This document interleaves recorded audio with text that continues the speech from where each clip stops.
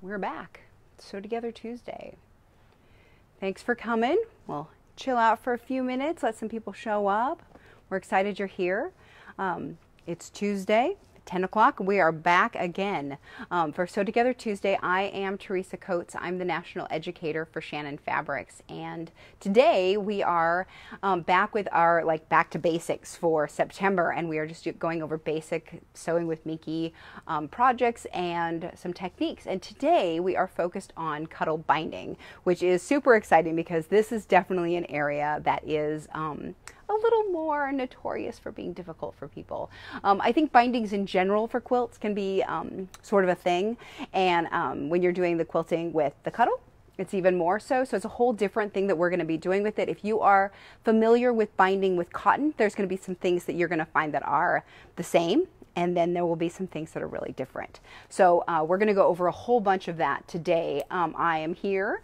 We uh, Hawk and I went away for the weekend. We went out to where did we Nevada the Valley of Fire. The Valley of Fire for the weekend. So that was great. And then we came back to LA and we are back and refreshed and ready to go. Um, so I'm super excited to be here. And um, yeah, so we are here. Leave any comments that you have and he will share them with me. Um, I am sure you guys will have questions. So please, please share them. Um, and he, either he can share them or Ellen will share them with me. And we'll get all of your questions answered. We're actually going to do, because this is basically a te technique class today, we're going to do a whole bunch of different kinds of bindings. So we're not actually going to finish a project. I'm going to have a whole bunch of half finished things, um, which should be pretty fun. So um, Make sure that you share the video to be entered to win. We'll be giving away a prize at the end. Um, and also don't forget that our National Sewing Month big, big, big prize, like $2,500 worth of sewing stuff, is uh, still available. And you can sign up until the 30th, which I think is tomorrow. That true? Um, so you have a little bit of time left to make sure that you get in on that prize. It is a huge prize, and I really wish that I could win it too. So whoever does, we are new best friends. Okay, we're gonna be new sewing buddies.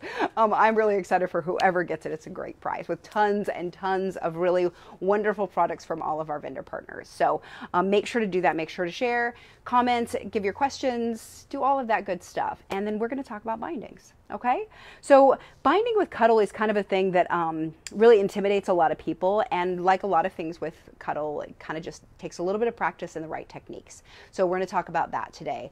Um, I want to talk about the overview basically, and I forgot to get one of my samples. Hold on, let me grab this really fast there's a couple of different ways that we can do binding. Okay, so binding with cuddle when you're doing like a cuddle blanket. So this is one that we did, um, a quilt that we did a while ago for Sew Together Tuesday, and I just did a regular binding on it. Okay, so I did the front, the back, trimmed it up, and then I sewed the binding on. Okay, this is a pretty typical way if you were to do a strip quilt, like a, the stitch and flip quilt as you go quilt kits that we have, you would do it the same way. That you'd put it together, trim it, and then bind it. Okay, that's the way that this looks. You can also do a cotton with a cuddle backing, which I love and is absolutely my favorite, and then you could do it with a cuddle binding. So this one is the Luxe Frost binding. This is the one that if you saw our picture on um, Instagram or Facebook, this is the one that we showed. This is um, a lovely one because it has like the white fluff up here, and then the color is actually the backing fabric. So the backing fabric is this peachy color, okay? And then the top of it is this creamy stuff, so it sort of like just blends right into it. It gives it a really unique look. Um, and this one turns out really lovely. This one has a cuddle backing that I did on my domestic machine on the baby lock. Okay, and I just quilted it. I followed the pattern on the front, so I did super, super easy echo quilting on that one. Okay, and then bound it with the Luxe Cuddle. All right. The other thing you can do, because I am a quilt maker at heart, so I make lots of quilts, and I bind them or back them all with Cuddle. So this one is backed with the Cuddle fabric. Okay. So this is with um, cherry, I think. That one might be coral, I can't remember. And this one I actually bound with cotton. Okay, so you can do it either way. We're going to talk about binding with cuddle, but if you back it, you can always bind it with cotton if that's a little bit easier for you. Okay, but don't forget that there's lots of ways of doing it. So we talked about in the blog post that um, that we put up the other day. We talked about some of my favorite kinds of bindings, and I have a few that I really like, and I just like how they look. So we're going to talk about those, and we're going to talk about some other ways of doing it too. Okay. Any questions that I need to tackle right away? Oh, yeah. Okay. All right. Then I'll put the samples over here.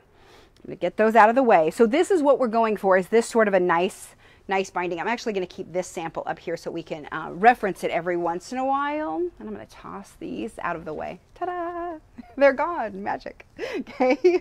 All right. So I'm going to move this. So um, cuddle binding is a little bit different than cotton binding because we cut it differently and we sew it on slightly different. Okay. Cuddle binding, we say in the um, paperwork to cut it at one and three quarters. And some people like to cut it at two inches. I cut it at one and three quarters, and then I sew it at three eighths of an inch. So I sew it basically a scant half inch is kind of what I'm doing, um, and really because I'm trying to give myself a little bit of extra wiggle room. So I think in the pattern it tells you, it always tells you to sew it at a half, which you can it's just really tight. So whenever you do the bindings, this is something to keep in mind, is that binding is going to be tight. Okay, you're going to twist that around there and you want to have to pull it over. So that technique of having to pull it over and get it in place is often where people get um, a little bit confused, like they think it shouldn't be that tight, but it is. Okay, and it will always be a tight, nice tight binding around the edge of the blanket. Okay, so we've got our blanket. The first thing I want to do is I'm going to cut out some binding. I've got some like basically some quilt samples um, that we're going to do, but I want to show you how I cut out the binding. Okay, so I'm to come over here. Got my pile of stuff that we're going to work with. Okay, my little tiny quilts. I don't even know what shape that is, like a weird little size. So I just cut out a hunk of fabric here. This is our Ziggy. Okay, so it's probably a little dark and it's hard to see, but it's super cool, little zigzag chevron um, design in it. And I really like this one. Hawk really likes this one too. He brought it up. Okay. We're going to show this one on there as a binding. When we cut our binding, we always cut it um, widthwise, okay? So when you do binding with a cotton quilt, you want the stretch. And when we have cuddle, we have the stretch this way and not this way. So we want to make sure that our um, cuddle is being cut widthwise, so the 60 from selvage to selvage. So right here you can see I've got a little selvage edge right here, okay? So that way I know that I need to cut my strip this direction, okay? So this side I can see is cut pretty crooked. So I'm going to turn it over. Yep, there's that pretty crooked side. And I'm going to turn this over and I'm going to cut this with my rotary just so you guys can see the mess on one side and then I'll cut it with the blade on the other so you guys can see the not mess. Okay. All right. So I'm going to cut this just right along here so I can get a straight cut. Okay. So all of this you can see it's starting to you can see it starting to flake off here. Okay. All of this will come off. There's just a bunch of it that will come because I've cut all of that nap. All right, so I'm to throw this away. And I'm to vacuum this really quick with my handy dandy Black & Decker. Hold on. Okay. All right, so as I thought, we've got a little, we've got a little thing happening here. Okay, so if you look in here, right on the brand name, now you guys know what it is, okay? But you see this where it sticks in here, okay, where it's stuck in my board? So if this has happened to you, and I just happened to cut it basically on a line, but all these little fluffy bits, okay, this, not right. Okay, we don't want these fluffy bits in our board. So I can come along here and I can get them out just by rubbing them up. You can also use a wet washcloth and that'll get them up and out of your board. But the thing that's happening is that my blade is got a little nick in it somewhere or it's getting dull. So what happens is as I'm doing that, I'm shoving it into the board a little bit more than I should be. So I'm just going to replace my blade really fast. So if you want to come down here, you guys can see. So I'm going to unscrew this guy. And then this is the little cowboy hat. It's going to come right off. The little plastic disc. And I'm going to let that drop. Okay. So there's my old blade. I'm going to get myself a fresh one. We're just to replace that guy. Okay, blades are scary. I've talked about it before. Be very careful with them. Okay. Try to touch the edges as little as possible. Okay, now I want to check this side. You can see that sometimes I get little fuzz bits in here. Okay, they'll get inside here. So I just want to make sure and clean that out okay? And these kind of blades, so these are my favorite Olfa cutters. They're the, I think, ergonomic ones they call them. You have to squeeze this. Um, but what I like about this is that you can put the blade on this side if you're left-handed or this side if you're right-handed, okay? And um, it won't, if it falls, it won't cut you. All right, so I'm going to take this blade off. I'm going to write a big X on it. Okay. So that means that's a bad blade. I don't want it anymore. It's been used as much as it can be used. Okay, so now I'm going to put this all back together in the way that it came off. So I just put them down and then I put them back. Okay, so it's a little cowboy hat. It goes with the brims facing up. Can you see that? Uh-huh. Okay, and then this guy goes back on there. The biggest mistake I see is that this screw gets put on upside down and then your blade will wiggle. Okay, so that's the most common mistake. So make sure that they go back together. Okay, looks good. I move that to the side, put that in a safe place for later. Okay, so now when I cut, it should be fine. Okay, so I'm gonna get the rest of this off. Because I cut it with the rotary, it's got a lot of fuzz coming on here. Okay, so I'll get that done. Now I'll show you how to cut it with the blade. All right, and I'm gonna cut it at one and three quarter inches. So I'm just gonna put my ruler on there. One and three quarter. And I'm gonna draw my little line. Oh, right over my ruler. Okay, so this is with the silver Sharpie, so I can see it on the dark fabric because the black will be a little bit too hard to see. And then I got my little blade, so this is the Olfa SAC-1. It's my favorite. So whenever you hear me talk about the blade, this is it. This is the blade. Okay, so this is it. it's, it's the thing that makes it all so much easier. Okay, so I'm going to hold this on here and I'm just going to drag this right along here. Feels like this blade needs to be changed too. Okay, yeah. Pop those.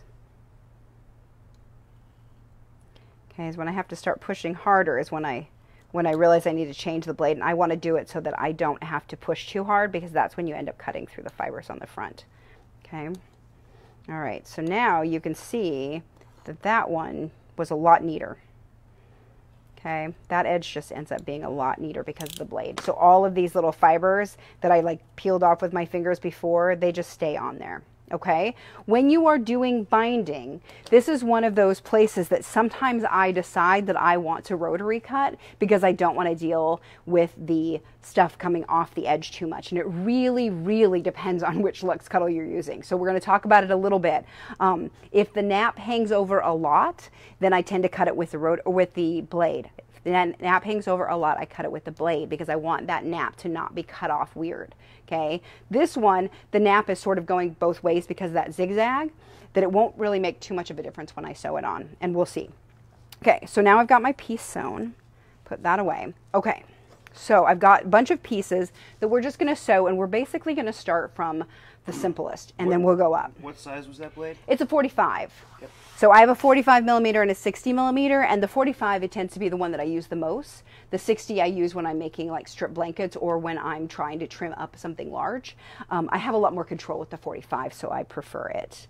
Um, okay, so we've got a couple of them. Let's start with this one. So the binding is something that you can do. This one I've just um, spray basted, and it's started to come apart because I didn't spray baste it super well. Um, just some batting in between two pieces of cuddle. Okay, so this is my Luxe Cuddle, my batting, poly batting, and um, just a print color. Okay, this is uh, Quilter's Dream Poly. It's the one I like the best.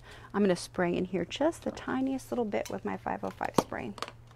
Okay, just because I want that to stick right along the edge. Okay.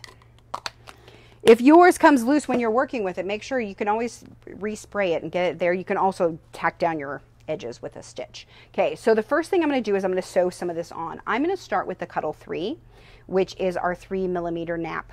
Okay, just the plain Cuddle. It's easy to find. It's everywhere. It is actually one of my less favorites for doing the binding because I can't make any mistakes with it. okay, with this one I, can, I have to be really careful with it. So we're going to start out that and see how careful I can be. Um, and I'll show you how to do the corner on that one. Okay. So what I'm going to do is I'm going to start with my strip, and I've cut it already with a rotary cutter. I'm going to sew it to the back. Okay. So I'm missing the lights. Can you guys see it? Yeah. Okay. Trying to get it so you guys can see and we can see. Okay. So now I'm going to put it on here. If this were like a real size quilt, obviously I would leave tails and all that stuff. I'm not going to do that right now because I just want to show you how to get the binding on. Okay Okay, and I'm going to use these big, huge Wonder Clips. If you don't have these, you can use regular Wonder Clips. Okay. I'm going to show you with these, but you can see the difference in how much they hold down. these look like little babies now. Okay. So these will hold a lot further into my fabric and hold it in place as I'm sewing. I'm going to sew this from the back and then bring it around to the front. Whenever we do our bindings, that's the way we do it. We sew it to the back, bring it around to the front. Um, there are very few times otherwise. Some people will sew it to the front, bring it to the back, but then I do my top stitching here and I want it to look nicest here. So that's where I do my final stitching. Okay. So we're going to sew it here and then we'll bring it around and I'm going to show you how to do the corner now. So we'll get Hawk to come around over here. I'll get my machine set up. I've got the gray thread in there right now and my open toe walking foot. So if you are doing this yourself, you're probably not going to have the open toe on there because you want as much held down as possible. I want to be able to have you guys see what's happening in here. So that's why I have this foot on. Okay, normally, let me see if my other foot is in here. This would normally be the toe I would want to have on there. Okay, so it has this, this is closed up more and easier. You'll see I'll struggle just a tiny bit, I'm sure, because this is open, it will move in there.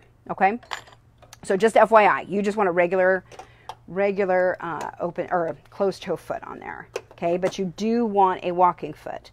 This is the um, digital dual feed. It's on my Baby Lock Crescendo, and I love it. Get that under there. Try to do that without bumping the camera. Okay, so on this foot, it's kind of weird because you can't really see. My half inch is, I think, here.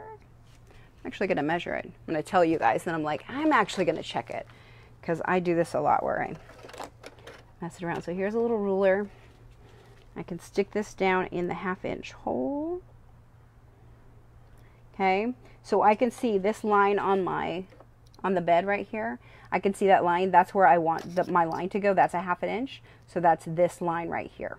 Okay, so when my fabric lines up here, that's a half an inch. And I'm going to go just shy of that because I want to make sure that I have enough to wrap around. And, you know, I got to feel like I'm a, like quilting. It's a, it's a scant half.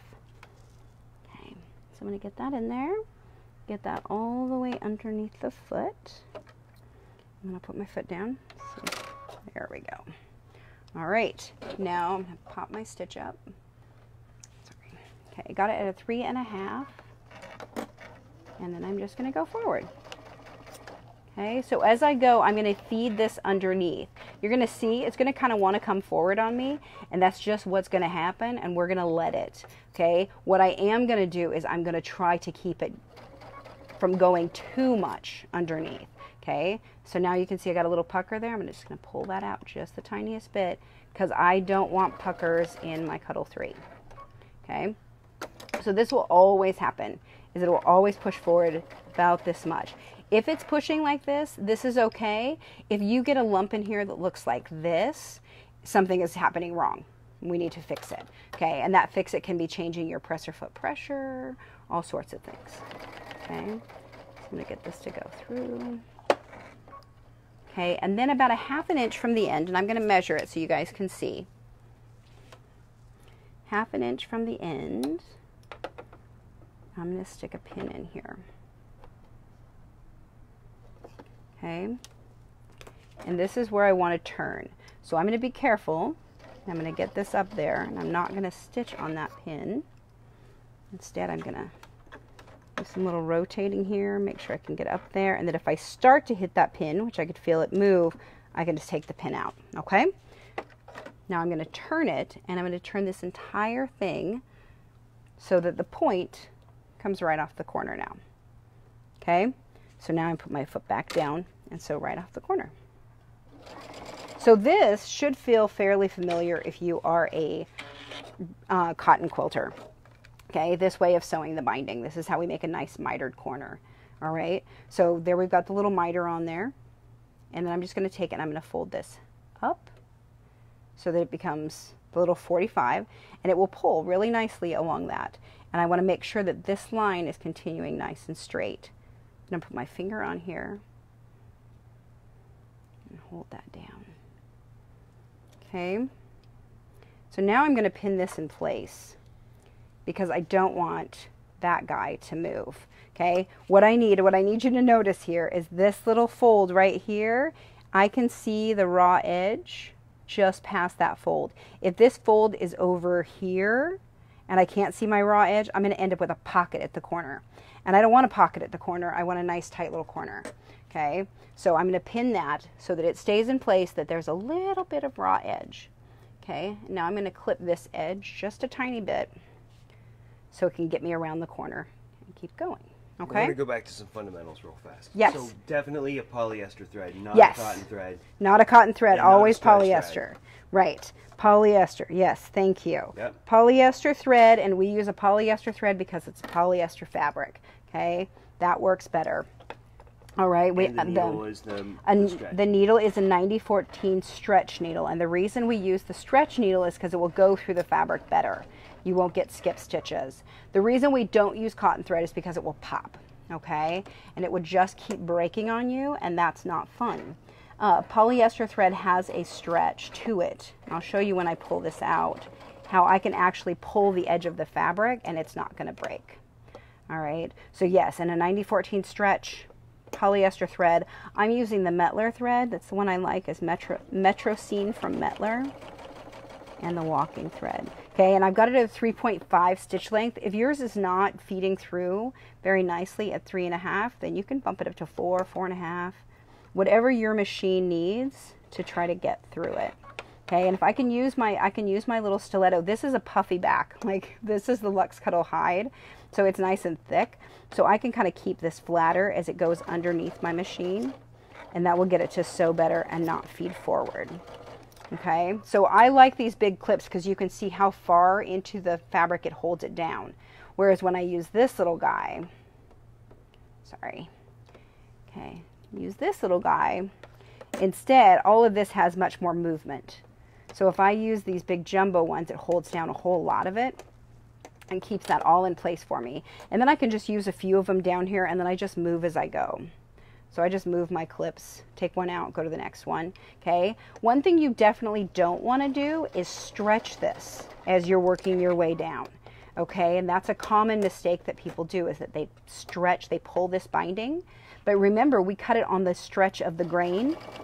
So the fabric is already stretching a little bit. So if I pull it and stretch it, it's really stretching. And then what happens is when it comes back, you're in trouble because now all of a sudden it's re- retracted and it's gotten shorter. So you don't want to pull as you are sewing. Okay, this will definitely give you what we like to call the bowl effect because it will just pull up your edges. It's bad, bad news. Okay, all right, so I'm going to get just part way here. I think I'm actually going to quit here. I'll cut my thread. That way we can do another little corner if we need to down here. I'll cut off my fabric. Okay, so let's come on over here. Okay, I'm gonna grab my scissor, just cut off this tail because I don't need it. Okay, so now I've gotten my fabric all sewn on. I'm going to take off my little pin down here that was holding my corners. Okay, be careful when you put this pin in there. This it would not be, you know, it'd be like about the eight billionth time that I grab this as I'm trying to pull this through and then stab myself. So um, if you're, you know, good about it, fastidious, you could take this out as soon as you use it. All right, so now I've got this little flap. All right, this should look familiar if you're a cotton quilter. All right, this is how it's going to be. Now we're going to bring it to the front. Okay, so I'm just going to flip this guy over and we're going to bring this around. Okay, the one thing I do is I get, make sure and bring this underneath, tuck it. Okay, and now I can bring it around. So one of the things that I think is um, interesting about the cuddle is if you do it right, which I like to think that I just did this right. Okay, that is just about perfectly a little half inch. So you can see there is my half inch line right there, and that's my seam. So it's just a scant half inch. Okay, if I do this, this has plenty of room to get past the stitching line. See that? Okay, so you're going to pull it over, but you don't have to rank it all the way over here. Okay, you want to pull it to the stitching line. Okay, so when you're using thicker fabrics, this gets thicker here. And so make sure that you have enough, but keeping this half inch seam will make this fold over really nice and easy. And you don't have to do a bigger um, binding. And that's usually what people try to do is do a bigger binding. What I want you to do is learn to sew a really straight line.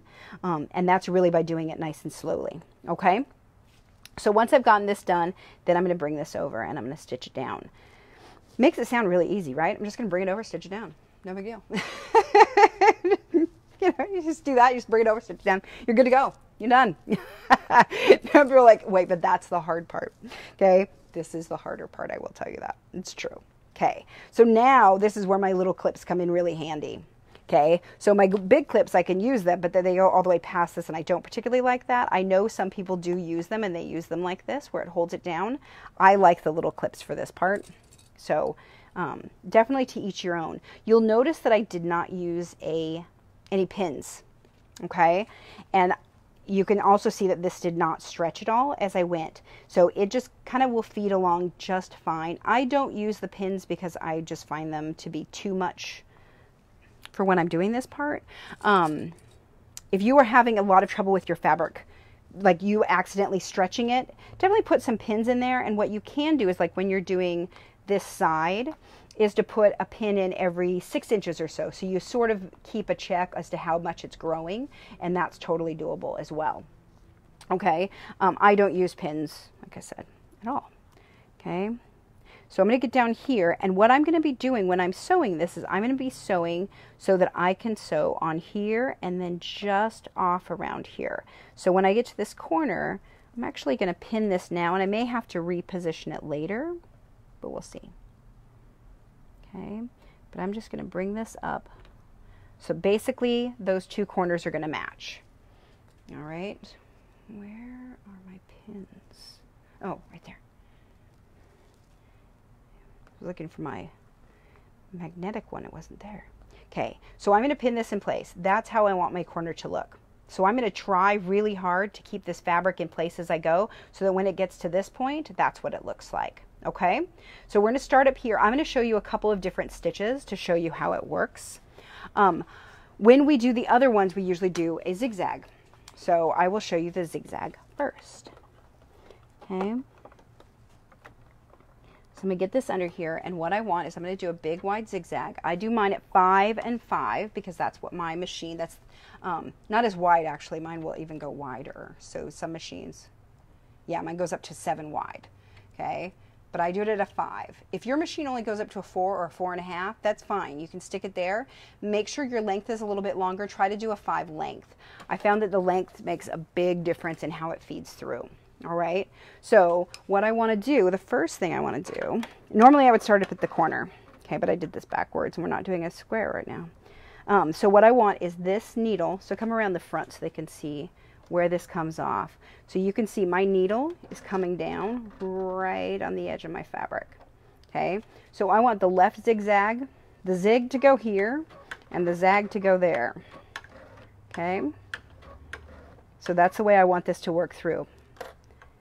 All right, so you can see it's going to come right off the edge.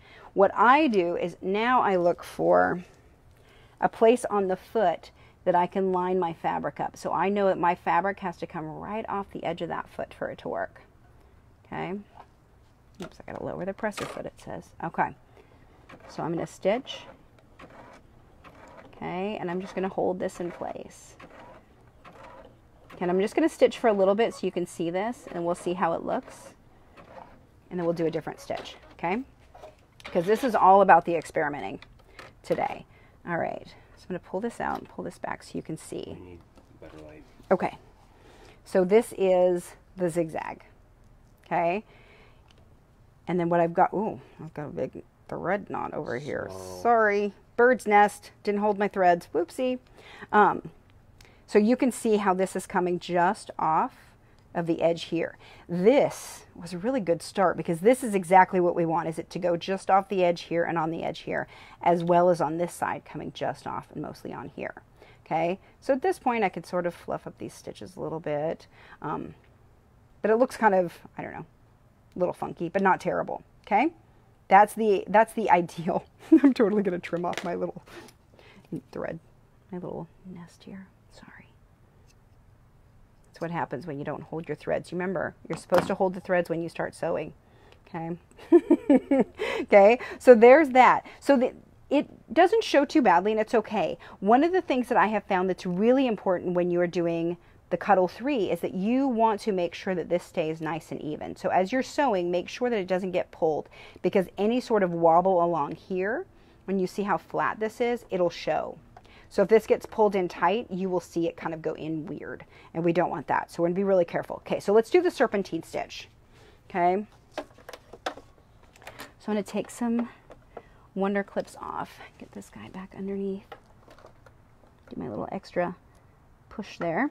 Okay, now if I look under here, I can see there's my, my stitching line from before. Okay, and I want that to line up there. Okay, so I'm going to pull that over just the tiniest bit to get it there. All right, now so now I have to come over and find my serpentine stitch, which is always a little bit of a guess as to where it's at. I don't know why I can't remember, but it's in my like quilting section, embroidery section. I'm not sure um, what that is. 217 is what mine is on my baby lock here. Okay, so this is the serpentine stitch. Most machines will have them. It starts off, its, its automatic default is five wide, which I like, and one length. I want it to be a little bit longer, so I usually start it at one six. This, you'll see this design here. It won't look that loose of an S, okay, when I sew it. So this is why it's good to experiment um, because you'll be able to see how it actually works on the fabric a little bit. Okay. Oops. Okay. So what this does is it does three stitches each direction. So the zig and the zag are all three stitches. Okay. And I'm going to hold this in here and let it do its thing. Okay, and what I what I want to try to do is to get it to when it comes off this last stitch, dink, it's just off the edge of the fabric. Okay, so you can see that. So 99% of it is over here on the fabric, and that's what we want. Okay, so I'm gonna do a few more little S's so we can see them, and I just kind of keep an eye. You can see the stitching line. I just keep it like, burp, there it is. All right, a little peekaboo. I just try to keep it in place and I'm feeding it through. So you can't see my hand back here, but my hand is holding it back here and I'm helping kind of guide it through so that it will come through the machine nicely. Okay, so if you're just trying to push it this way as it's coming through, it's not going to work very nice. You have to kind of keep a little, a little tension on it in the back. Okay, and this is actually when you'll see I'm kind of sewing pretty slow. And it's because this can get really out of um, the way pretty quickly, so I want to do it nice and slow. Okay, so now I'm going to bump this up. Let's see if I can make it. Let's do it at 2.5, okay? So it's 5 wide and 2.5 long.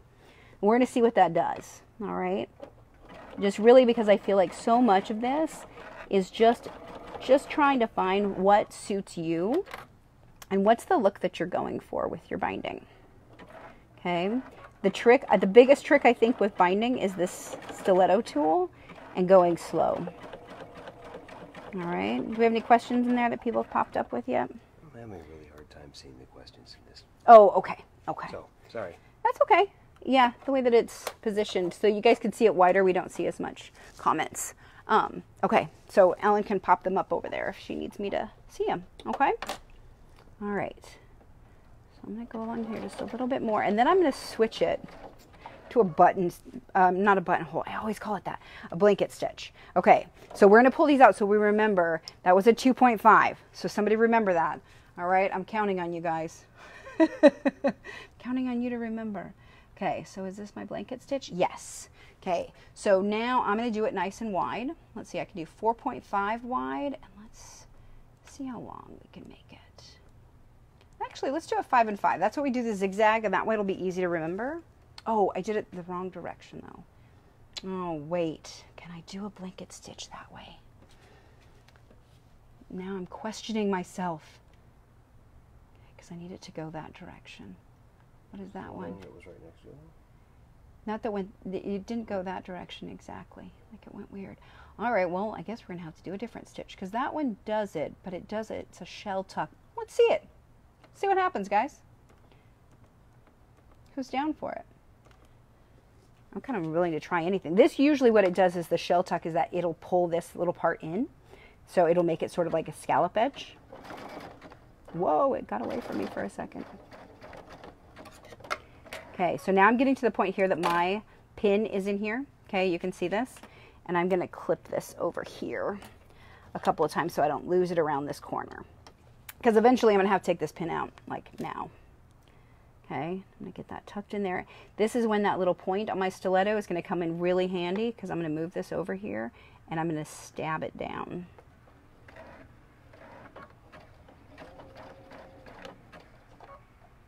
Okay, go one more. Okay, now I'm going to lift this. I've keeping my stiletto in there see if I can get it to go over. There we go. I just wanted to kind of grab that little fold is what I was trying to do. Okay, seemed like a weird thing, but that's what I was doing. I gotta get that. So now I can see that this wants to kind of pinch right here. So I just kind of have to get it moved a little bit. We'll see how that works. Okay. Coming off the edge just a little. There we go. So I just got to keep an eye on my stitching underneath and this. Okay, so I'm keeping an eye on this, this seam line that I sewed and the edge of my fabric. All right, let's take that out and we can see a little bit. All right. So here we go. Oh, look at that. Okay, so here's our little shell stitch. That was the last thing we did, which was sort of the, the backwards blanket stitch.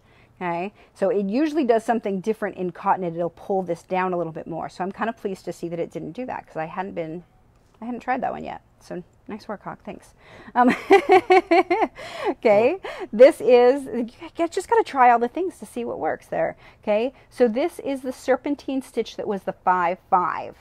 All right, so this is a really nice big long one. And I will tell you with the serpentine stitch and with any of these, because you can see these stitches so well, the key really is to go slowly so that it feeds through nicely. All right, because we want it to feed through evenly. This is the um, 1.6. So this is what I normally use. This was the 5. Okay, so just a different look. Either one of them are perfectly fine. The binding isn't going to come off either. Okay, they're really strong. Um, so we're definitely you don't have to roll the fabric back under. Absolutely not. You're this right here, it's edge. just the raw edge. You can see it's just the raw edge comes down. Bam. Okay, this is all raw edge, and if we get real close here, you can see that raw edge. Okay, you can see that's what that is. If I put it like this, you can't tell. Okay. Super nice, super easy. And we're going to do that with all of it. Okay, so five wide, 1.6 long serpentine. This was the 5-5 zigzag. Okay, so once you see the serpentine, you're like, oh, the serpentine is so much nicer than the zigzag. This is the 5 wide and 5 long serpentine. And then this was the shell stitch here. Okay, so that seemed to work out pretty darn well. I'm excited about that. All right, um, let me see. Somebody else did a fancy stitch. So let's let's see if we can find a fancy stitch here, Hawk. Let's see what we can do with my walking foot on there. Let's see. I'm going to just pick one and see what it does. Let's do a fancy crazy one there. How's that? That looks fun. Okay, I'm going to stick this underneath the machine get it in, get my stiletto again. Let's just see what happens when we try to do a really fancy stitch. Okay, so this one is the smocking stitch, um, which I like a lot. And I think somebody actually just mentioned this one on the I Love Cuddle group, which is kind of funny. So if you're not in the I Love Cuddle group, I'm going to make that longer. You should join us there. So I'm going to do it five wide uh, still, and I'm going to, I bumped it up to 2.5 long because I want it to feed through faster. That'll take me three days to get through that, and I don't want to do that. Okay. So this is just basically cut, um, stitching down a little square. Okay, and I'm just going to kind of let it feed through. I just want to make sure that my edge is caught. Okay. I also want to make sure that the edge is caught and not flipping up. So I want to make sure that it doesn't get moved over too far, either direction. Okay.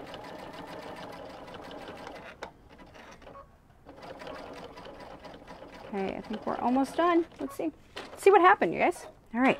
It's kind of exciting. Oh, look at that. Okay. So this one was the smocking stitch, which you kind of, here you can kind of see it a little bit better. It's like a little square. Okay. but what that does over here is it just sort of flattens into it. So the difference between the two sides, and you'll see it, is the really to the direction of the, the nap. The nap is coming this direction. The nap is coming this direction. So it just behaves differently. Okay, which is kind of, uh, I don't know, interesting. All right, so this was the back, catching just the edge. That's the front, catching just the edge. All right? Okay, so this was the smocking stitch, and it was, can you read those numbers over there?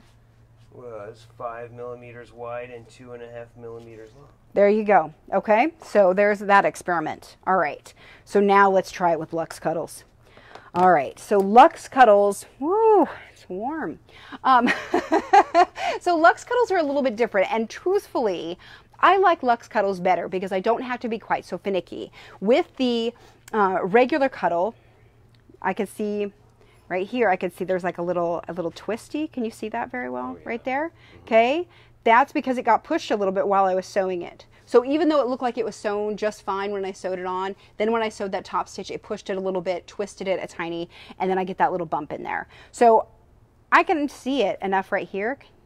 You see that? Like where it goes in? So this is why I don't like to use Cuddle 3 for my bindings because it shows all my mistakes instead of hides them. Um, so I like to use a Luxe Cuddle. And the Luxe Cuddle seems like it would be harder because there's so much more in the Luxe Cuddle. But because there's so much more to the Luxe Cuddle, it actually hides it all, which is to me the best part. Okay. So I like the Luxe Cuddle to hide the stuff, and the Cuddle 3 shows all your stitches. So it's kind of a give and take, whichever one you like best. I like Luxe Cuddle. So my favorites that I like to use are the chenille or the heather. No, weave. I always get those two mixed up. Okay, let me find those. So come on over and I'll show you what those are. So this one is one that I did with chenille. Okay, and I love the way this looks. I just think it is super cute. And this is the weave, which is similar, but actually has like sort of a mottled look to it. Okay, so it's a different, it's a different kind of, I don't know, it's the same design, but different look. Okay, different fibers that are in it. So we're going to try this one and I'm going to show you why I like it so much. So like I said, chenille and weave. Okay, and these ones you can just cut with a rotary cutter because the, um, it's, it's kind of dense. It's a dense cuddle. So I'm going to do it on this one here, which you can see. So this one I did with no batting in it. Okay, so you can do a, so, a simple blanket, the So Simple blanket we call it, where it's two pieces of fabric and you just bind the edges. Okay, this one was two pieces of fabric with cuddle in the middle, sort of like you would do a With strip quilt. Or with cuddle, with um, batting in the middle. Got it. Sorry. Yep. Okay. There's batting in there. Okay. So this one had the batting and the cuddle and Luxe Cuddle. This one was the two layers of cuddle. Okay, and we're using the same binding width on all of these. This one I did just a tiny, tiny little bit of quilting on it on my, um, the baby lock. I just, you know, took it through, drew some lines. Okay, so it's quilted. Um, and we did that. Okay, so now we're going to do the same thing with this one. I'm just going to do one edge of it. Okay, should I do the binding again? I mean, the corner again? Yes. Do you guys, yeah? Okay, I think so. okay. I think so. That little miter, that little miter trick was great. It's- Everybody caught it, but it, 'Kay, it we'll see it again. See it again. All right, so I'm going to show you this time how I would do it if I'm doing pins, okay? This is again the stretchy direction, but we don't want to stretch it and pin it because when it retracts, it'll come up here and that just drags this fabric up. We don't want that, okay? So we want to lay it down nice and flat. I'm going to pin this a couple times and show you how that works, just in case you decide that you like the pinning better, because you might, okay? If you're going to pin, pin fairly infrequently. Um, what is that, maybe every four inches or so? Oh, look at that, almost perfectly four inches. That's pretty darn good. All right, so now we're going to go and put my machine back at a straight stitch. Okay, I'm going to come under here and lift this guy up. Let's see if I can get all of that underneath. Okay, there we go. All right, and then I'm going to get back to a straight three and a half stitch length. Okay, put my needle down, push out my pin because I don't want that in there. And then what I need to do is make sure, so as I'm sewing here, I need to make sure that my raw edges are matching. Okay, so as I'm going, these edges need to match. So I just have to kind of keep an eye on that, all right, as I go. Okay. Did I throw hold my tails again? No, no, I did not. live daringly, I guess. Okay, I'm gonna get another thread knot back there. Little thread nest. Okay. So I'm trying to keep this line and this edge lined up with that um, part of the foot because I remembered that was my, my half inch-ish. Okay. So you can see it, it pulled up just a little bit. I'm just going to move those pins. So this is where your stiletto can come in pretty handy because I can stab it here and let it feed through. Get up to there. I find the edges again, stab it, and let it feed through. Okay, one of the tricks, um, if you can move up and show them the little slider hawk, this little guy right here. So if you have a newer machine, they almost always have these little sliders. This will slow it down. So slow this baby down while you're sewing. Okay, I'll just leave mine there and you can see. I can't make it go too fast now. It just, it won't do it. Okay, so it's one of the better things about um, some of the, you know, yeah, higher end machines will do it. Even like, even my daughter's not high end machine has it. So a lot of the newer machines just do. And it's a good feature for something like this where, you know, if you want, you're typically a pedal to the metal kind of sewer, this is where you want to slow it down. Um, and part of the reason for that is if you're sewing fast, all of this fabric gets shoved up and you can't adjust quickly enough to get it sewn in place. And that's frustrating, super duper frustrating. Okay, so here's my half inch. Okay, sorry, I'm gonna stick my hand in the, in the way again. Okay, so there, I just measured my half inch, stuck a pin in there. Okay, and now I'm to sew down to that pin and not into the pin. Remember? Okay, and see how this is sticking out here? I can just take it, push it right back. Keep my edge nice and neat together so I can see it. Stab it in there, feed it toward that. Okay. Are you changing the pressure, the presser foot, or the tension at all? I did not. Sticker, the, the, the weave. I did not, but you absolutely can. So if you feel like yours is not feeding through as nicely, which is very, very possible as it gets thicker, that's when you change your presser foot pressure and just lighten this up. Okay, that makes a big, big difference on the feeding through. So for this one, because this machine has a lot of oomph to it, it doesn't have any problem getting through the the luxe or the two layers of cuddle and the batting and then the luxe cuddle. Doesn't blink an eye. On other machines, it will totally bog down at this point. So that's when I'm going to sew slower. I'm going to lift my, get my lower, my presser foot pressure to lower to lessen.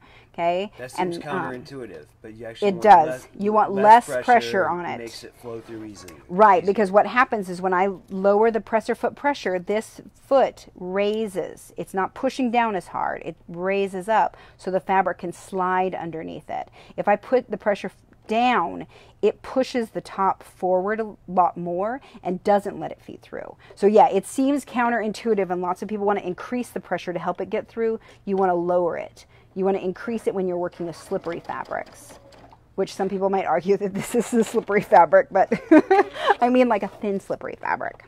Okay, so we got the same thing here, okay? You can see there's my little mitered corner. All right, so I stopped. Show you from this side. You can see maybe that I sewed along here, do, do, do, stopped, sewed off the corner. Okay? Same thing here. You can see it. Mm -hmm. Sewed along. Now I'm just going to do the flip flip thing is what I like to call it in class, where you can see this goes down the whole edge. Okay? Sorry, my arm's shadowy arm. Okay? And then we're going to flip it back. Okay, so this part, let me show you on here, because this is a part, when you're doing this, I'm showing you on my machine, and if I were teaching you in a class, I would tell you to take it out of your machine and put it down. Okay, because this, you can actually see what's happening. So this line goes all the way up. That's the way we want it to be. When I sewed it, it looked like this. I just pull it up. Okay, then what I'm going to do is I'm to stab my, not stab, but I'm to hold my stiletto down real hard here, and I'm to pull this fabric back. Okay, so now I've got it where I want to, and I'm going to pinch it with my fingers and I'm going to grab a pin and then I'm going to pin it right here. Okay, because I want to keep, you remember, this little uh, fold here, and I want to keep the raw edges together here. So I've got the two raw edges, the fold, more raw edge. All right, so here, to keep this in place, I'm going to pin this, or clip it. I'm going to clip a couple of these, and we'll do the rest of that corner. Okay. All right, so now we'll come back over. I'll stick it in my machine. I use my stiletto and get it shoved underneath there. Okay, when I start sewing, you can see it's not, I'm not starting back here or here and then letting my fabric flow in. I stick my fabric all the way underneath it first. Okay, then I'll put my foot down and then I'll start sewing because I want it to catch it. Okay, if you start sewing before that, it's less likely to move forward. Okay, so I'm just going to start sewing, move my clips out of the way. Okay, and again, if this is annoying to you, you can totally shove this stuff underneath. Okay, and then you can see that edge real nicely. Okay, and I'm just going to sew right along here. Okay, and when you're doing this, especially if you're a newbie, just really, really take your time, like, okay? Really just go nice and slow, and you'll start to see how the fabric behaves. Um, we're just going to sew all the way along here so we can get that. Okay. All right. So now we're to do the same thing as I did before. I'm to take the pin out. All right. So over here, I'm to take the pin out. And now I've got my little corner. Okay, so I sewed this one on to this side. We're to sew it onto the back. You could have this would be your back and this could be your front. It doesn't really matter. I was just sewing it on. Okay, but you, if this were your back, this would be your front. So make sure that you're cognizant of which way your fabric is going to go. Okay, we'll see how well it turns out. Okay, so now one of the things you want to do is you make sure that you pull this out. Okay, and then this gets tucked in nice and flat. Okay, so now I'm going to come along here and I'm going to do some pinning or some clipping. So I'll grab that. Because I just want to clip this in place before I start working with it. Okay, pull that over, clip it, and I'm going to do the same thing. But this one I'm going to use a zigzag. And I'm always going to use a zigzag on the Luxe. All right. And I'm actually going to, um, yeah, we'll do the corner. Okay. So usually I would just do this one edge. But I'm going to do the corner so you guys can see it on the Luxe too, because the other one I have to show you isn't with a corner. So this one I can feel, this got a little bit wide here. Where's my little, I had a handy dandy ruler. There it is. Okay. This one I can feel it got wide. Okay, so here is the line for my half inch. It's on the, it's on the mark right now. And you can see I have a little bit of green over the edge. Okay, and you know how I could tell that so quickly is because when I pulled this over, it doesn't want to go all the way really easily. So I'm just going to yank that over. And it's going to go there whether it wants to or not. Okay, it's just going to have to go there. So when I'm sewing that, because I have to pull this over, I'm going to have to be really careful about yanking that as I go. Okay, it will be fine. So remember, this side I got a little bit slow or a little bit sloppy, and it's a little short. Okay. So we'll see how that turns out in comparison. All right. Okay, so I'm going to get this in again. Get that shoved underneath there. Okay, so this is when we have a little bit of what I like to call blind sewing. Okay, to take my pin out.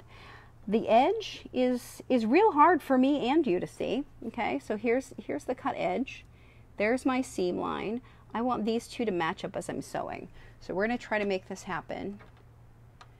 Hawk and I are going to do a little tango here around the machine while he tries to show you and I try to try to see. Okay, so again, it's 5-5 stitch length for a zigzag and I am just trying to aim this stitching line toward the edge of the foot and getting that on the edge of it. So really what I'm looking at is here and aiming that forward Okay, I have to pull this nice and tight, remember, because I sewed it just the tiniest bit too wide. Okay, so I'm gonna, I actually have to like, so if you can see, I've got my stiletto and I'm gonna yank it over here. I'm gonna put it in place. Okay, so sometimes when you're learning how to do this, this is, um, mm, I guess, a little bit scary to do is to kind of force it to be there because you're like, but it doesn't want to go. Like, that's fine. We'll make it go there. Okay. And nine times out of 10, it will work just fine. Okay, and I'm still just keeping an eye on this line down here and where it's going in toward my machine. Okay, so now this corner is a little bit funkier because I can't see quite as well, right? I can't get my miter quite as nice. But what that does is allows me to not be quite as perfect. Okay, so I'm just going to hold this down I'm to bring this up and I'm going to stab through with my stiletto. So if you want to, you can get this pinned and you can stab it there and that'll help sort of guide you.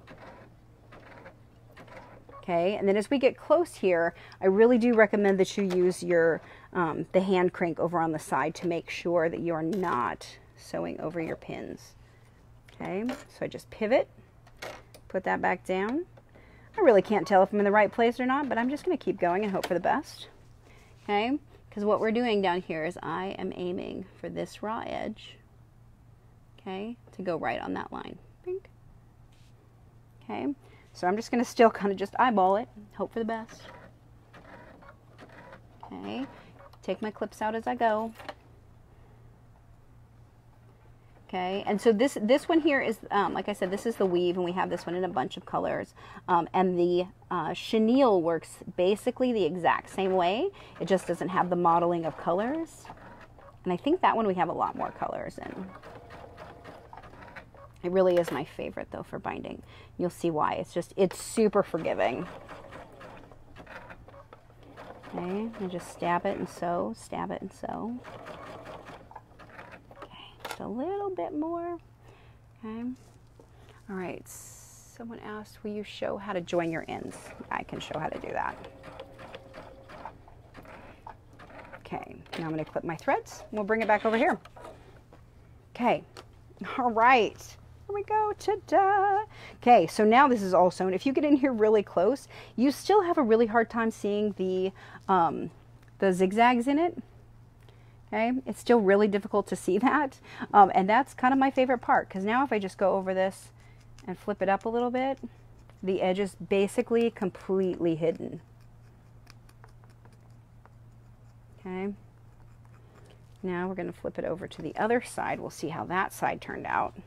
Ta-da! So here I can see the zigzags just a little bit better, but I'm still going to, well, because I want to hide them.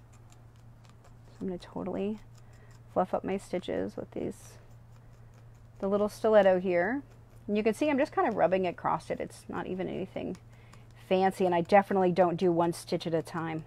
Somebody asked me that, do you go under each stitch? I was like, oh no, no, no. I would be there for five years for each blanket. That would be terrible. Okay, look at that. Nice. Do you hold the tail Great. threads or do you use the sacrificial starter? Um, I actually like to when I'm when I'm sewing for myself. I tend to use uh, leaders and enders. Yeah, so I tend to use a starter, and I have a few of them downstairs um, that I use. I start sewing with and then get going. Um, up here, I tend to just go because um, I forget to hold the tails. You should use something though. It does it does prevent that thing. So, and especially on some machines, like on the um, Bernina that I have downstairs, I have to use a leader and ender, or it doesn't work as well. It likes to suck it down so I have to use um, I have to use the leader ender, the um, what do we call it, the tail threads, all that good stuff. Okay. Um, all right, look at that. It's so beautiful, you guys. This is really like this is honestly like it's my favorite kind of binding. Like all the stitches are gone. It's super fluffy. It's full. It's yummy. I love it. Okay, and this is nice and um, thick. If you can, how can you do you have a hand you can you can hold? So pinch this one, and then pinch this one. You could feel the difference in the thickness. Oh yeah. Yeah. So so this is because this got kind of shoved in on itself. So I just wanted somebody else to verify that it does feel got thicker, it. right? Okay. Um, and that's because it got pushed in to make that binding fit. So basically, okay? press the end seam open inside of the inside kind of, of it just yeah shoves it all in there real tight right. um, where this is nice and flat um, i can tell a difference you can't see a difference visually and i'm sure that nobody's going to grab your my blanket and be like this feels just slightly thicker um, and if they do i'm never making something for them again so there's that. Um, all right. So then let's do this one. So this is the one that everybody loved on that other little blanket. This is a frost. Okay. So the back of it is a um, a color and then it fades up into white at the top. All right. So we'll do this on here just to show you how that works. Um, maybe I can get two on this side and then we'll show how to do the tails. Okay, I'm going to try to do that. So I'm just going to sew just a little bit just to show you how it works um, slightly differently. Okay, I'm going to pin these because I want that to stay where I'm putting it. So, like I said, normally I just, excuse me, I normally I just use clips, but um, this one I'm going to use pins here because I want it to start and stop there. We're going to leave this tiny little tail. It's not very much, but maybe it'll work. Also something on the other end. We can show how to join the tails. Okay. Sorry, guys. My new screen orientation, I'm missing so many questions. and Sorry. Uh, I have a choice. I either get to show you on screen or I get to see your questions. So hopefully Ellen can help forward some questions. Yeah, please do, because yeah, we can't see them. Um, We're, we're going with a with a, uh, a portrait, or I'm sorry, a landscape. right, so you guys can hopefully see better. So, oopsie, that's not a straight stitch. So yeah, so if you if you prefer the other way, let us know. Um, we had some people ask for it to be wide, so that's what we're doing. Giving it a shot. Okay, so I am just getting this edge, and I'm just sewing it down. Okay, half inch. Move my wonder clip, and I'm just making sure that this edge matches. You can see I do it this way because all of my nap, you can see runs this direction. Go get some of the extra nap off there. Ta-da. Okay, so this edge is actually really easy to sew because I can see that clean edge. You're gonna see when we come around to the other side, all of that nap will kind of be in the way, for lack of a nicer way of putting it. Okay. Okay, now I'm gonna clip my thread. Come over here. Okay, so now you can see. So this is one of those things that when you're dealing with this, like I vacuumed this off. You watched me do it this morning. Okay, I vacuumed it, I cleaned it, I cut it with the blade. I still have some stuff coming off here. So if you're just kind of gentle with it, you can pull it off and throw it away. Um, the less you flip it around, the better. Okay, so now you can see how that worked, right? Now I'm going to bring that around to the front. Okay. So now this is where it gets funky because where I'm sewing is way back over here. Okay. When I flip this over, what you see is all of that fluff. So this is where it gets weird. Okay. So this is truly blind sewing. So if you want to do this, it's abs- I mean, obviously it's absolutely possible. I did that whole little quilt in it. Okay. But this is what the, what the difference is. So when you have a tighter nap, it's a little bit easier to see the edge. When you have the long nap, it's fluffier, um, but a little harder to see the edge. And when I say a little harder, I mean a lot. Okay. Okay, so we're going to come under here. I'm going to get that in this. So like I said, normally I start at corners. This one doesn't really have corners like normal because I'm just stitching. Okay, so I'm going to look under here. Here's my raw edge. Okay, the edge of that. I'm going to shove it down in place and put my foot down. Okay, did I get unthreaded? I did. Oh, that was a good catch now. That could have been a, a painful moment. Two minutes from now, even 30 seconds from now, I'd be sad. Okay, all right. Look at that. Stronger reading glasses. I can thread it better now. okay, so now I'm looking at my raw edge, my seam line, and I'm going to pin it in place. Except I have to switch it back to a zigzag. Okay. All right, so now what I do is I'm going to push this over to the side so I can see it. And then I'm going to sew it. Okay, and usually what I do is I kind of do it a little bit at a time. And then I'll sort of reposition, check it again, see did it work. Okay, good, I think so. Stab it down again. Okay, so this one I'm just going to stab it and make sure that it's working here. I can see it along that line. And I'm going to stab this in place. And I'm just going to aim for my stiletto. Okay, so I do this either way, but I'll be really careful about it or just sort of just aim. Just go, see what happens. Okay. All right, so now flip that. We'll see how that worked out. Okay, so now you can see it smashes this down. So you can see here's my here's my zigzag. All right, I caught the caught the edge. It looks like I can pull this up. So there it caught a little bit funky. Okay, but not bad. And then I can come along here, fluff that up, and then all my stitches went away. Okay, so the biggest trick with this is just taking your time with that. Because you really can't see. So don't expect that somehow I did it in this miraculous way that I could see the edge. I can't. Um, I just sew and hope for the best. Okay. So we had a question. Um, somebody had, I think, emailed earlier that what if you do this and then you do this later and you realize like you've got a hole here, you've got a little pocket because you missed a spot because you can't see what you're sewing. So it's really easy to do that. If you miss a spot and you have to go back and fix it and you've got all of your binding done, just go back over and zigzag that and make sure to hold the fabric down really well and then do your zigzag on top of it again. Okay, and then fluff those stitches out real well. And that should be fine. So on the back, this is what it did on the back. Looks real funky. Okay.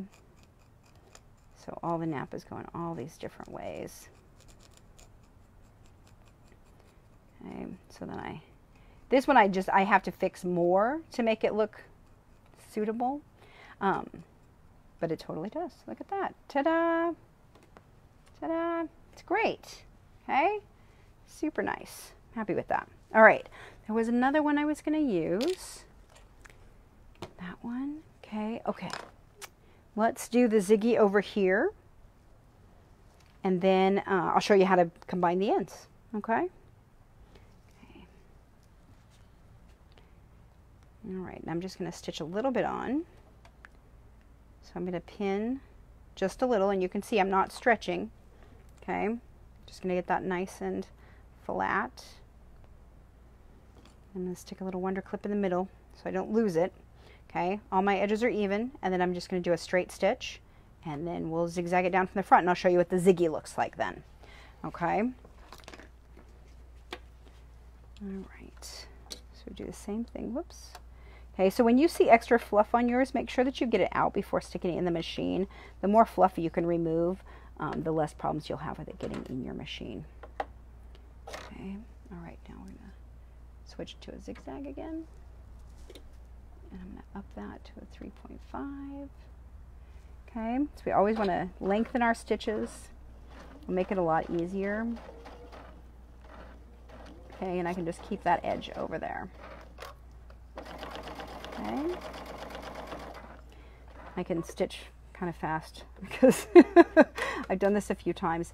Um, the the um, uh, what's the what's the word I'm thinking of? The more uh, stable the backing, the easier it is to sew fast too. And some of them are more stable than others.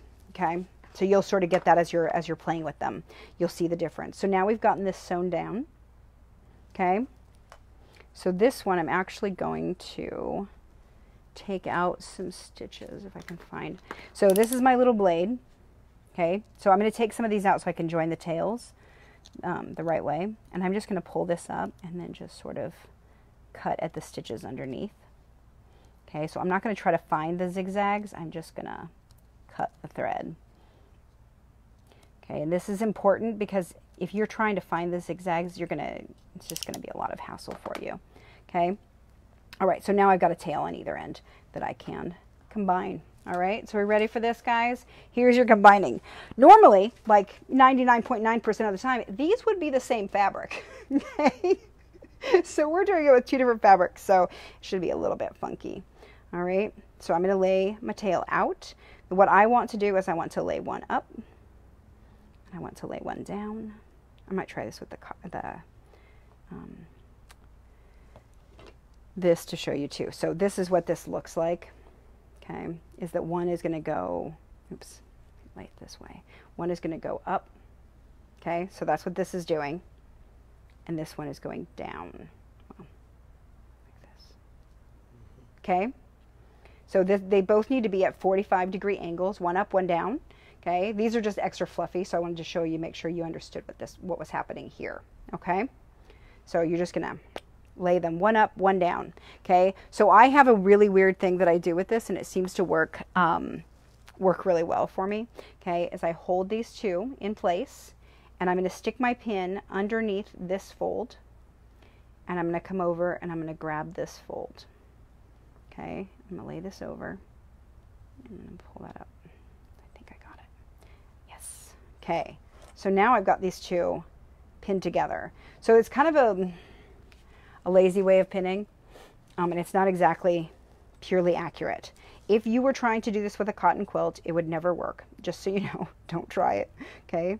will only work with cuddle bindings. Okay, so I'm going to do that and then I'm going to come over here and I'm going to pin it over here. So now what I need to do, so what I did with this pin is I just pinned it where I need to sew it. So I'm going to pin or sew from here to here, this corner. All right, so let me give that a try. I wish I had two pieces of the cuddle. I would see three. I don't think I have them though. Okay, so now this is always the trickiest part. So leaving the longest tails that you can is important. Okay, leave at least eight inches of tail so that you can do this part and not get um, frustrated that all of this quilt has to be up here because this is the only gap that I've got going. Okay, so if you have if you have a six inch gap between here, you have a lot of fabric right here. If I have a 12 inch gap here, I have a lot of room to move. Where here I like I have a smallish one, but this is okay. So what I'm going to do, I'm on a straight stitch still, and I'm going to sew from corner to corner. This is weird because I can't see this fabric over here. So I just sort of have to feel it and I'm actually going to stick a pin in where those meet and move that a little bit because I want to be able to sew without taking my pins out until I get to this pin. Okay, so I'm going to start in. I'm going to back stitch because this would be a point that we really want to make sure I'm back stitch. The rest of it I actually don't because they always overlap. Okay, I'm going to sort of aim for that spot. And back stitch a little. We're going to hope for the best. Okay. So now I can come back over. I'll take my pins out. You see those stitches? That's how your stitches should always look. Nice big stitches. Okay. Ta-da! I've never put two of them together before. That's pretty funny.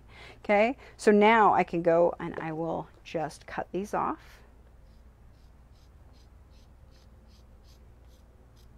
Okay. These are not the best scissors for trying to take little bitty cuts with. Let me get my other little Kais. These will work better. Okay, if you have those from Mores, which I have some more too, they work really well for this. Okay, take teeny tiny little stitches or cuts. Okay, there we go. It's a little bit less mess that way. They're going to come together. And ta-da! Okay, so now I'm going to sew this down and we'll flip it over. Okay, then we'll just sew that whole edge. I'll show you how that's done. Okay, so now I'm going to get this in here. What I have found is if you have, um, oh, and this might be a good example. Actually, I'm going to do this. So this one, I didn't do it perfectly because it's two different fabrics um, and they don't work quite the same. So I have a little bit of extra here. Okay, so I can feel like I would have to like pull this down. So what we're going to do, because this is where problems come in for people, is I'm going to pin this and I'm actually going to sew it from the other side. So I'm going to pin this in place with a couple of little um, fluffy points in it. Okay. And I'm going to put that against my feed dogs because the feed dogs will move your fabric through faster than the walking foot. Okay, that's why on the top you always get a, that's why you get the little puff on the top is because the feed dogs are moving through fast. This is just kind of pushing it through. So I'm going to start here so you might be able to see, did I do it? There it is. You might be able to see there's my seam line right there. Okay, so I'm going to start sewing here and I'm just going to sew forward and I'm going to let those feed dogs do their thing back there and try to get that fabric in. The one thing with doing it this way is I want to make sure that this got laid out flat underneath. Okay, I'm just going to sew it and I'm going to try to aim for this line right here so that now my bindings will match. Okay. So now I've got my, my whole seam goes across here. Okay. So now I can flip it over this direction. Have lots of fluff. You know how this goes, guys. Okay. And now those are all sewn together. So any little extra, and I can see I have a little bit of puff in here and puff in here, it just fed it right in. Okay, oops, look, I even have a big old pleat right there. Look at that. Ta-da, can you tell? Nope, leaving it there then. Okay, that's how that works. So any type, like, if, but if you did this with the Cuddle 3, you'd have to take it out and redo it. So with Luxe Cuddle, it's really nice because I'm like, oh, it's a little mistake. I'm just going to hide it right in the binding and no one will ever know. Okay, so now we're going to turn it to this side. Now I'm going to clip it. Okay, And that's because it was, um, I was just stitching too close to where I had sewn down the binding before. Okay. And then I'll show you this one because the Ziggy is good too. We also talked about the hide in the um, in the blog post, and the the hide is a nice one too. Okay, get that up there, and you can see like there's definitely a little bit of finagling that has to happen to get the fabric underneath the foot. Okay, so I'm going to do a little zigzag here, and then I'm going to do that same thing where I'm going to hold down my edge, just hope for the best. Okay, there's a little pleat in there. It's going to work out okay, I promise. Okay, and you can keep redoing. Um, all right, so were there, what, oh, Ellen asked, what is the little yellow ruler that I used? And I, I don't know. Uh, oh, I got it at a show. so look, it's like a little, your business name here. So you may be able to find this at quilt shops. Um, and basically it has a little hole. I have a few of these where they have holes um, at the quarter, the half, and the five eighths, I believe. Yep, and so you can stick it in there and find out where your needle is. So this works really well because you can see, okay, goes right through it. So this is great because then you can um, make sure that you have the same quarter inch or same half inch on all your machines. Okay, it's a great, a great little tool. And I'm sure that lots of quilt shops have it because I think I got it at Quilt Market.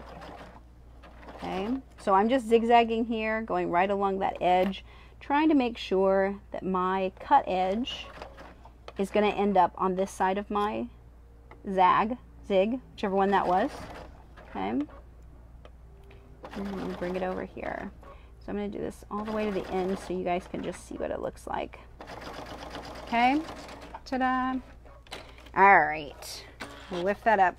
Okay. So this one is done with the light gray thread. You can barely see it there, but look at this. I can make all of those little gray threads go away. Ta-da! it's kind of amazing. So this is really the trick part of all of this is getting that fluff to come back up and hide all of your stitches. Okay, there's a little um, conglomerate there right there. Came together. Okay. Same thing, you're just going to fluff it up, neaten up those edges. Okay, same thing on the back. So you can see, this is one thing that people um, will often complain to me about is that the back looks really ugly. And I'm like, it does. I mean, that's that's not pretty. Okay, I don't know if you guys can see quite how not attractive it is. It isn't. Okay, but I can come back over here with the um, stiletto and I can fluff this up and it will make that all nice and fluffy again. Okay, and then it makes it look so much better. So really the key, for me the key is just doing this little fluffer bit, okay, and getting that nap nice and nice and even. More stitches you guys can see. Hide them all. So if you were doing something like this, like honestly, if I were doing a blue binding, I would just use blue thread so I wouldn't have to see it. But you'll see how easily it all hides in there versus, you know, having this showing. We don't want it to look like this. We want it to look like this. Okay? So super duper easy. All right, let's see if there's any other questions. Do, do, do. Nope, doesn't look like it. All right, if you have any, I'll answer them in the um, comments. So again, my favorites, okay, I love this stuff. This is the, um, the weave, and this is the chenille. Both super good. Oh, here's the here's the hide. We ran out of time, didn't do it, sorry. But it works basically the same way as the Ziggy does. Okay, hide is super good for it too. Honestly, these two I feel like are the easiest to work with when you're doing this. Here's the Cuddle 3 one. Okay, you remember the serpentine, the wider serpentine. This was the shell stitch. This was the smocking stitch. Okay, which kind of feels like a lot of work for not showing. I think this is why I like the serpentine and then the little zigzag on that one. So on the Cuddle 3, I recommend that you use a fancier stitch. It will also draw attention away from these little moments that happen. Okay, so if this happens on yours, this is really common and it's because it's pushing the fabric forward just a little bit. So it happens to the best of us, truly. Okay. All right. I think that was it. I think we got them all. we'll come back through and answer your questions. But really, the key to binding is just to practice it. Go slow, use the stiletto, be very kind to yourself and practice. So one of the things that we have done in classes is um, when I've done classes on binding is that we have done it so that you just take, you make yourself a square. So make yourself like a 15, um, let's see, if you made yourself a 12 by 15 inch square, or rectangle, I guess it would be. So 12 inches by 15 inches. You just make that. You can take one strip of the cuddle, um, the Luxe Cuddle, make yourself a binding strip. So 60 inches wide by one and three quarter inches wide, tall. Okay, you're gonna make one strip. You could use that one strip to bind it. Okay, so 12 by 15 and one strip of binding. That will bind all the way around and you can practice this. Well, you'll make just a teeny tiny little thing. If you do that a few times, you'll get better. The other thing that you can do is to put together a few, um, like a larger piece, then bind it and then cut off the binding, bind it again, cut it off, bind it again. And that's the way I've done it too. Um, so then you just practice and practice and practice and it will get better. So don't be afraid to use it think about the length of the nap, how much the stitch is going to show, how much of the stitch is going to fall onto the fabric that you have to like sort of like stitch behind or stitch blindly. Okay, so if you think those things through when you're making a choice on what you're going to bind your quilt with, it'll make a big difference in how well your binding turns out. All right, so make sure, like I said, practice. Okay, and then make wise choices when you do it. Um, we have a winner. The winner was Jill W. She was our winner today.